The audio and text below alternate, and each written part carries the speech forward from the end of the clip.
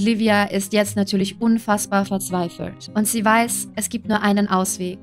Sie müssen wieder fliehen. Das ist der 15. Part meiner Okkult Baby Challenge.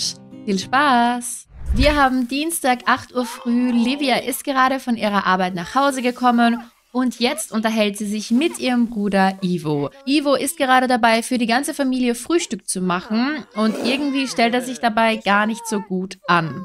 Heute haben wir tatsächlich einen Feiertag und zwar feiern wir heute den Vorabend von Weihnachten sozusagen. Das heißt, die Familie wird dekorieren, wir werden für festliche Beleuchtung sorgen und außerdem herrscht schon festliche Stimmung. Denn morgen ist dann das wirkliche Winterfest Dort gibt es dann auch Geschenke, ein Festtagsessen und natürlich kommt auch Väterchen Frost vorbei. Ich hoffe, es läuft alles nach Plan. Und während Ruby in der Schule ist, muss Livia natürlich auch die Zeit nutzen, um Ivo alles von Jonas zu erzählen. Im letzten Part waren wir ja noch in Solani und Livia ist Jonas dabei näher gekommen und sie hat sich auch etwas überlegt, Sie möchte nämlich, dass Jonas heute auch vorbeikommt und dass sie dann gemeinsam als große Familie sozusagen den Feiertag verbringen. Ich bin schon sehr gespannt, was Ruby davon halten wird. Und deshalb wird Livia Jonas jetzt gleich mal eine SMS schicken und ihn einfach fragen, möchtest du uns eventuell heute besuchen kommen? Ich würde dir auch schon meine Kinder vorstellen. Wenn man bedenkt, dass sich die beiden erst kennengelernt haben, wirkt das Ganze natürlich ein wenig überstürzt, aber ich schätze mal, er kann Livia einfach nicht widerstehen. Und nun haben wir 15 Uhr und Ruby ist gerade von der Schule nach Hause gekommen. Sie ist mittlerweile eine gute Schülerin. Sie hat nämlich tatsächlich mal ihre Hausaufgaben gemacht und außerdem haben wir auch das Schulprojekt abgeschlossen. Und als sie durch die Tür kommt, wundert sie sich gleich mal, was hier los ist. Hier am Tresen stehen nämlich Eier und Toast. Dann haben wir noch frittiertes Gemüse, dann ein Truthahnfestmahl und auch noch einen Winterkuchen. Und Ruby riecht jetzt natürlich, dass da etwas faul ist. Es könnte natürlich sein, dass ihre Mutter dieses Festessen wirklich nur für die Familie gemacht hat aber irgendwie bezweifelt sie das. Oh no, was war das für ein Geräusch? Oh mein Gott, wer ist verstorben? Nein! Gabriel! Hallo Ivo, ich rufe dich an, um dir mitzuteilen, dass Gabriel Walter von uns gegangen ist. Mein aufrichtiges Beileid zu deinem Verlust. Unser Gabriel ist an Altersschwäche gestorben. Das heißt, Emma ist wieder ganz allein. Ich meine, sie hatte zumindest ihr Happy End mit Gabriel und die beiden haben ja schlussendlich doch noch zueinander gefunden.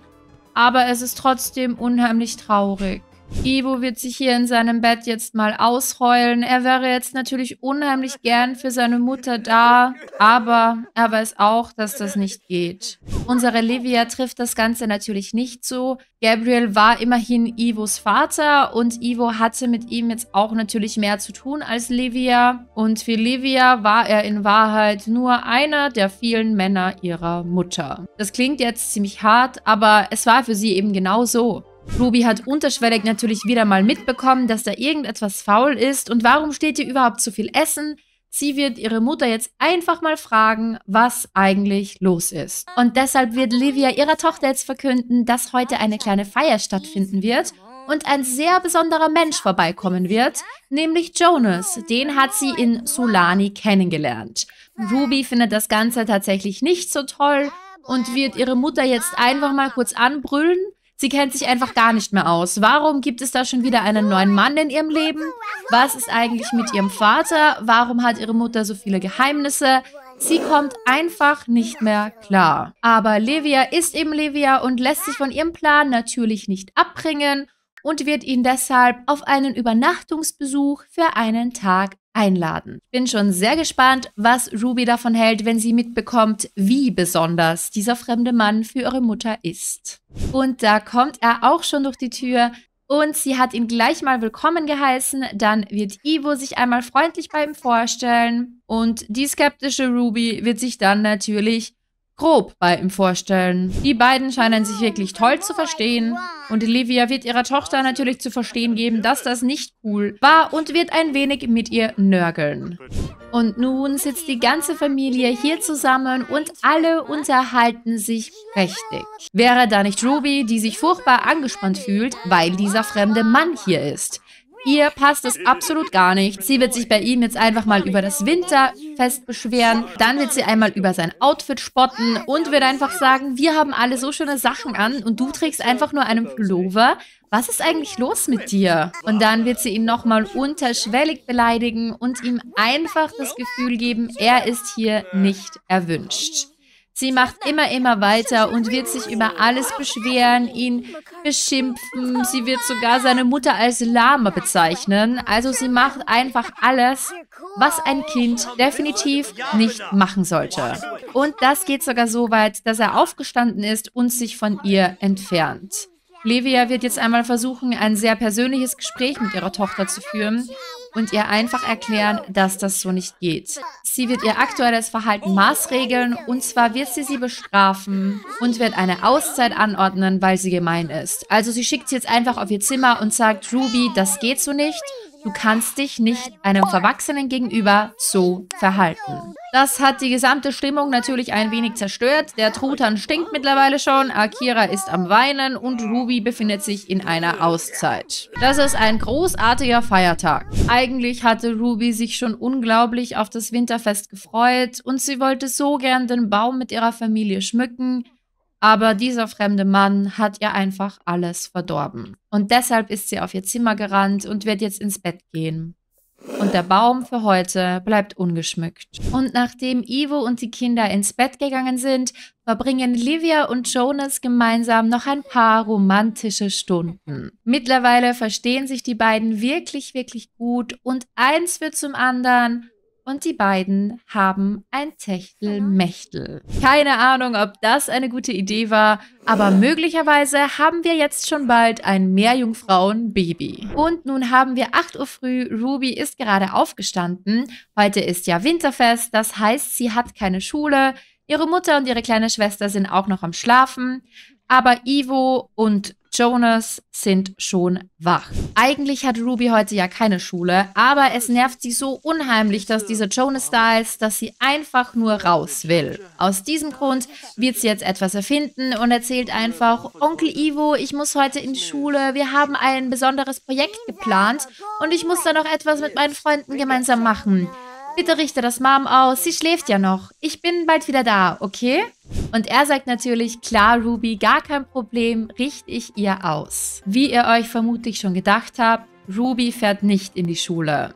Im letzten Part hat Ruby hier im Kunstzentrum ja weiter über okkulte Wesen recherchiert und ist dabei auf Vampire gestoßen. Um genau zu sein, hat sie etwas mehr über Forgotten Hollow erfahren. Und weil die Situation zu Hause immer unerträglicher wird, weil ihre Mutter sie nervt, weil da dieser komische Jonas ist und ihre kleine Schwester einfach die ganze Zeit anstrengend ist und weint, hat sie sich dazu entschieden, ihren Vater ausfindig zu machen. Und als sie hier in Forgotten Hollow ankommt, weiß sie natürlich gar nicht, wo sie hin muss oder wo ihr Vater wohnen könnte, Deshalb reisen wir einfach hier mal in diese Bar. Unser kleines Mädchen reist gerade in eine zwielichtige Vampirbar.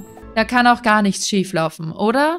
Normalerweise ist unsere Ruby ja eher schüchtern, aber sie hat eine Mission. Wir gehen einfach gleich mal zum Mixer und werden uns bei ihm einfach mal freundlich vorstellen. Dann wird sie ihm einfach mal nach seinem Tag fragen, fragen, wie lange er hier schon arbeitet und wie viel er eigentlich so über diesen Ort hier weiß. Aaron sieht jetzt nicht unbedingt aus wie ein Vampir und das verunsichert Ruby jetzt ein wenig, denn wenn er kein Vampir ist, möglicherweise stimmen dann die Gerüchte gar nicht und vielleicht gibt es hier in Forgotten Hollow gar keine Vampire. Sie versucht immer mehr aus ihm herauszukitzeln und erzählt ihm eine unglaubliche Geschichte, dass sie eben gehört hat, dass übernatürliche Wesen hier leben und ob er da zufällig etwas davon weiß. Aber Aaron scheint nichts davon zu wissen oder er möchte nichts davon wissen und ignoriert alle ihre Fragen. Als nächstes versucht Ruby hier ihr Glück bei Yannick und hier haben wir Kyle und dann haben wir hier außerdem noch Noah, aber wiederum, niemand möchte über die angeblichen Vampire sprechen.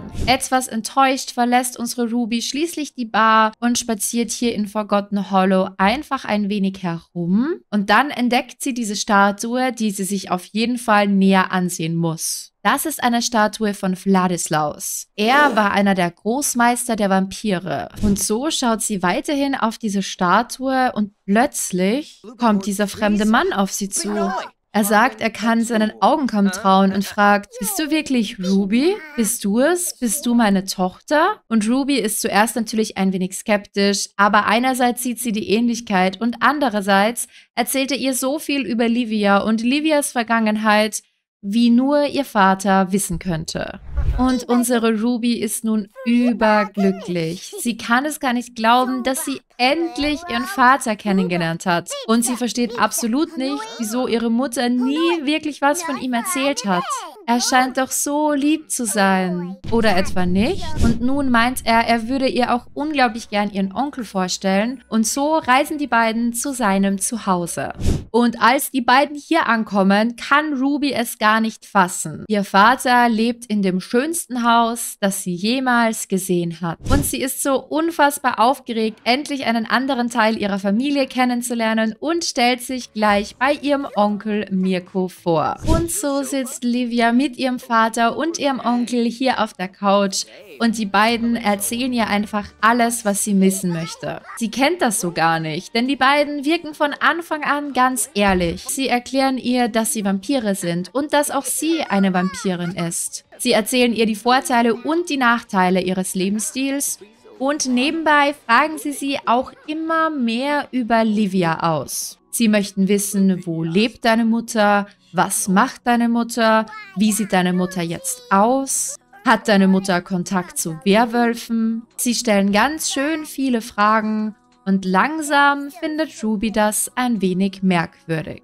Ein wenig misstrauisch ist Ruby zwar schon, aber hauptsächlich ist sie glücklich. Endlich hat sie ihren Vater kennengelernt. Das wollte sie schon all die Jahre. Und nun ist sie gerade dabei, sich hier im Haus ein wenig umzuschauen. Sie hat nämlich gerade diese Bibliothek entdeckt mit all den großartigen Büchern und als sie gerade dabei war, sich ein Buch auszusuchen, das sie lesen könnte, überhört sie plötzlich eine Unterhaltung aus dem Nebenraum. Ihr Vater und ihr Onkel haben wohl unterschätzt, wie dünn die Wände hier sind. Was machen wir jetzt mit ihr?